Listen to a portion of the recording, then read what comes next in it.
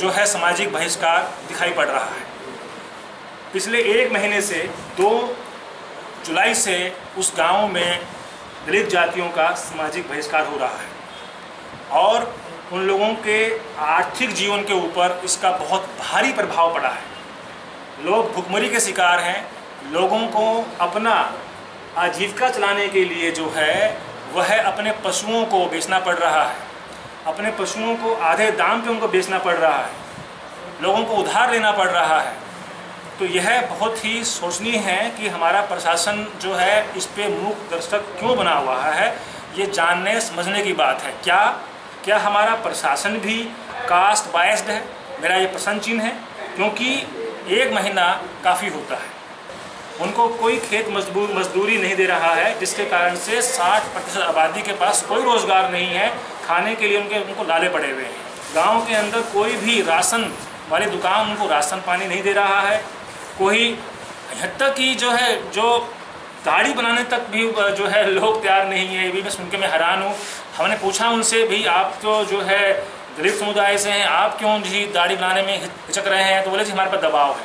हम दबाव में हैं हम नहीं कर सकते हैं। हमारे ऊपर ग्यारह ग्यारह सौ रुपये का जुर्माना लगा दिया जाएगा और इस जुर्माने के भरने की स्थिति में हम लोग नहीं हैं इसलिए हम लोग पैसर में काम कर रहे हैं।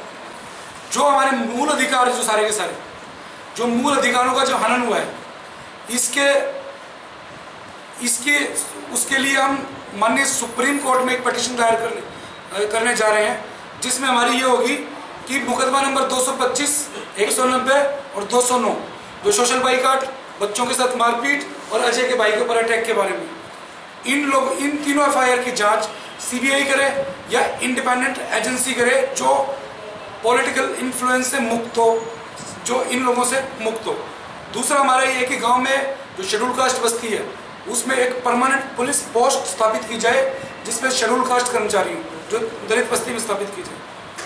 तीसरा, जो हमारे गाँव के शेड्यूल कास्ट लोग हैं उन लोगों को आत्मरक्षा के लिए, उन लोगों की कॉन्फिडेंस बिल्डिंग के लिए, उन लोगों को आर्म लाइसेंस दिए जाए। इन लोगों ने हाँ कर दिया था, लेकिन इन लोगों ने खुद ही टेक्निकल अड़चन पैदा कर करके वो लाइसेंस बनने नहीं दे रहे हैं पुलिस खुद एक तो मेरे को और एक अजय को सिक्योरिटी दी जाए, क्योंकि मैं और अजय इनके बिल्कुल टारगेट पे हैं और पुलिस खुद हमें मरवाना चाहती है। चौथा, जो हाँसी का एसपी है, हाँसी की एसपी है एएसपी है डीएसपी है और एसएचओ थाना सदर है।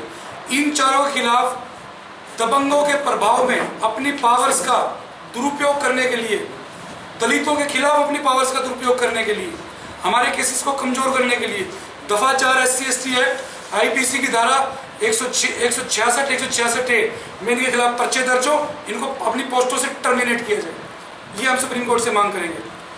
तरफ़ इतना बुरा सिचुएशन हमारा है जो उसको कोई देखने को और सुनने के लिए तैयार नहीं है तो हम किसके पास जाए? हमारा यही सवाल है कि हमारे राइट को सुनने के लिए, हमारे अधिकारों को हमें दिलाने के लिए कौन आएगा? आखिर कौन होगा वो व्यक्ति जो दलित कम्युनिटी को जस्टिस देगा?